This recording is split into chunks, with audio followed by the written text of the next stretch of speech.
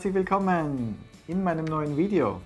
Ja, die Faschingszeit hat begonnen und was passt da besser als richtig leckere Berliner oder wie wir sie in Österreich nennen, herrliche Faschingskrapfen. Nur leider trauen sich ja wirklich die wenigsten, diese wunderbaren Krapfen nachzumachen. Denn die meisten denken sich hier, ah, Krapfen, das ist doch viel zu schwer.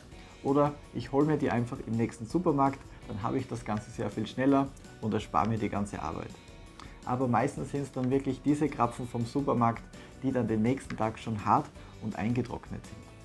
Mit meinem Rezept werdet ihr sehen, dass Berliner oder Faschingskrapfen nachzumachen wirklich kinderleicht ist und vor allem sie schmecken absolut fabelhaft. Was ihr alles hierfür braucht und wie das Ganze funktioniert, das sehen wir uns jetzt an. Für den Krapfenteig benötigen wir 500 Gramm glattes Weizenmehl, 100 Gramm weiche Butter, 66 Gramm Kristallzucker, 166 Milliliter Milch, 133 Gramm Eigelb, 41 Gramm Rum, 10 Gramm Vanilleextrakt, eine Packung Vanillezucker, 5 Gramm Salz, 35 Gramm frische Hefe sowie den Abrieb einer Orange und Zitrone. Und aus all diesen Zutaten können wir nun damit beginnen, unseren richtig leckeren Krapfenteig herzustellen. Die Zubereitung ist hier wirklich einfach, denn wir starten als erstes damit, uns die Milch in einen Rührkessel umzufüllen, gemeinsam mit dem Rum, dem Dotter, dem Vanillearoma, dem Vanillezucker, dem Salz dem Kristallzucker und die Orangen- und Zitronenschalen. Und das Ganze rühren wir jetzt einmal richtig gut mit einem kleinen Rührbesen durch. Und wenn nun alle Zutaten soweit richtig gut durchgerührt sind, dann geben wir jetzt unsere weiche Butter direkt in unsere flüssige Masse hinzu. Ebenfalls füllen wir nun direkt unser Mehl oben auf und bröseln uns die frische Hefe direkt auf das Mehl hinauf.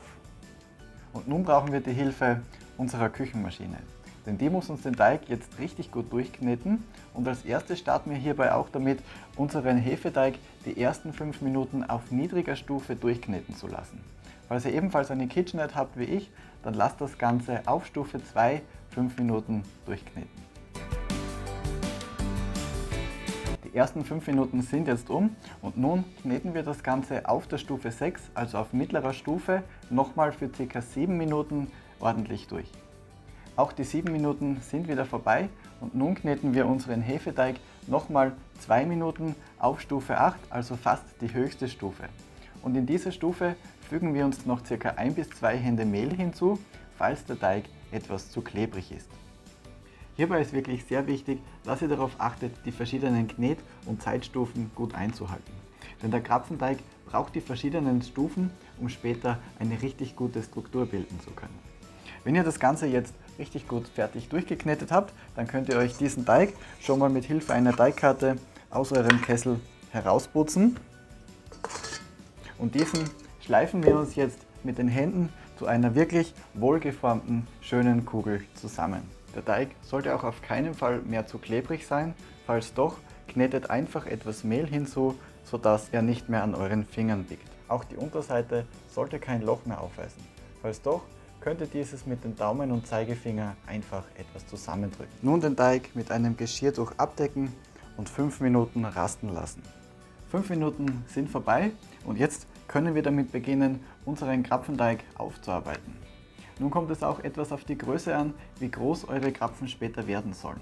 Wenn ihr die normale Größe haben möchtet, wie man sie üblicherweise in den Geschäften kaufen kann, dann wiegt ihr hier bei 50 Gramm pro Stück ab. Und falls ihr sie etwas kleiner haben möchtet, dann könnt ihr hier bei 25 Gramm nehmen. All unsere Krapfen sind jetzt portioniert und nun können wir damit beginnen, diese rund zu schleifen. Ich mache natürlich beide Varianten, einmal die großen und die kleinen, um sie euch zu zeigen. Während dem Schleifen ist übrigens auch sehr wichtig, dass ihr eure Krapfen wieder mit einem Geschirrtuch bedeckt, denn so können sie euch nicht so sehr an der Oberfläche austrocknen. Und wie das Ganze jetzt mit dem Schleifen funktioniert, das sehen wir uns in der näheren Perspektive an. Um nun unsere Krapfenstücke rund zu wirken oder rund zu schleifen, kneten wir uns erst einmal den Teig etwas durch und schleifen das Ganze mit beiden Händen und leichtem Druck schön zu einer runden Kugel zusammen. Wichtig ist hierbei, dass man nicht zu viel Druck anwendet, denn sonst wird der Krapfen an der Oberseite nicht so schön glatt, wie er werden soll. Ebenfalls sollte sich an der Unterseite kein Loch mehr befinden, ansonsten müsst ihr dieses mit Daumen und Zeigefinger einfach etwas zudrücken. Nun nehmen wir uns einen Teller oder Platte, die wir mit etwas Speiseöl einstreichen, damit uns die Krapfen darauf nicht festkleben und wir sie später wunderbar herunterbekommen. Und darauf legen wir nun unsere fertigen, rundgewirkten Krapfenstücke. Und wenn nun all unsere Krapfenstücke richtig gut durchgeschliffen und auf ein beöltes Blech weggesetzt sind, fehlt jetzt nur noch ein Schritt, nämlich das leichte Andrücken mit unseren Fingern auf der Oberfläche unserer Krapfen, denn so werden sie später richtig schön gleichmäßig. Wenn ihr diesen Schritt ebenfalls erledigt habt, können wir uns diese jetzt in die erste Garre geben. Dafür stellen wir uns den Backofen auf ca. 35 bis 40 Grad ein und stellen uns eine Schüssel mit heißem Wasser direkt in den Backofen dazu. Denn der Wasserdampf sorgt dann dafür, dass unser Germteig den Wasserdampf richtig schön aufnimmt und dadurch richtig gut aufgehen kann. Wir geben uns diese jetzt für 25 Minuten in das vorgeheizte Backrohr. 25 Minuten Gärstufe sind jetzt vorbei und wie man auch schon richtig gut erkennen kann, unsere Krapfen sind auch schon etwas aufgegangen. Wir lassen diese jetzt aber noch für ca. 30 bis 40 Minuten bei Zimmertemperatur stehen, damit sich an der Oberfläche unserer Krapfen eine leichte Haut bilden kann. Während die jetzt noch etwas ruhen, können wir uns schon mal um unser Frittierfett kümmern. Hierfür geben wir uns einen Kilo Butterschmalz zusammen mit 660 Gramm Frittierfett in einen Topf und schmelzen dieses, bis sich das Ganze richtig gut aufgelöst hat. Wichtig ist hierbei übrigens auch sehr, dass ihr die Temperatur mit Hilfe eines Thermometers überprüft. Denn euer Fett zum Herauspacken sollte später eine Temperatur von 120 Grad haben. 40 Minuten Trocknungszeit sind jetzt vorbei und wenn wir die Krapfen mit dem Finger an der Oberfläche leicht berühren, dann merken wir sofort, sie haben schon eine wunderbare Haut gebildet. Wir schupfen uns diese jetzt direkt in unser 120 Grad heißes vorbereitetes Fett hinein und frittieren sie genau 3 Minuten an der Vorderseite. Jetzt die Krapfen einmal wenden und ebenfalls wieder weitere 3 Minuten an der Rückseite frittieren. Nun die Krapfen wieder einmal wenden und für ca. 15 Sekunden untertauchen, denn so kann der weiße Rand etwas anpacken und dadurch werden sie später etwas stabiler und bleiben daher schöner stehen. Nun die Krapfen nach Farbe nochmal ca. 20 Sekunden an beiden Seiten fertig backen und anschließend auf ein Gitter zum Abtropfen heraussetzen und etwas auskühlen lassen. Unsere Krapfen sind jetzt fertig gebacken und wie ich finde, die sehen optisch schon mal wirklich fabelhaft aus. Jetzt müssen wir das Ganze nur noch füllen und hierfür können wir verschiedene Varianten nehmen, je nach Geschmack. Es gibt Vanillecreme, Schoko, Nougat oder klassischerweise die übliche Marillenmarmelade. Ich habe mir diese auch schon hergerichtet und in einen Spritzer gefüllt und hierfür verwende ich ebenfalls eine Krapfenfülldülle denn mit dieser lassen sich die Krapfen wirklich wunderbar füllen. Zum Füllen nehmen wir einfach einen Krapfen, stechen damit einmal bis zur Mitte hinein, füllen das Ganze mit einem ordentlichen Druck und während wir das Ganze füllen, ziehen wir unseren Spritzsack langsam wieder hinaus.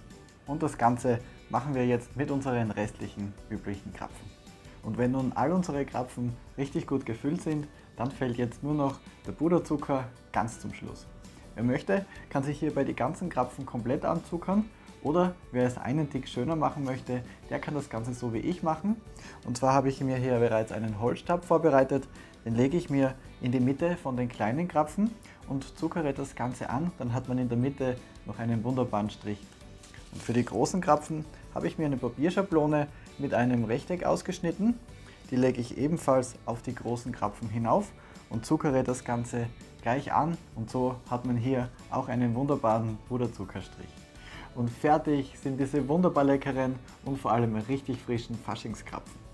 Und noch als kleinen Tipp zum Schluss, ihr erkennt auch daran, dass ihr an eurem Krapfen alles richtig gemacht habt, wenn er eine richtig feine und lockere Bohrung aufweist und wenn ihr das Ganze drückt, dass er wieder richtig schön nachfedert. Also ich finde, die sehen schon sowas von lecker aus, da möchte man am liebsten einfach nur noch probieren. Wenn euch das Video gefallen hat, dann würde ich mich freuen, wenn ihr ihm einen Daumen nach oben gebt und meinen Kanal abonniert, um keine weiteren solcher leckeren Videos mehr zu verpassen.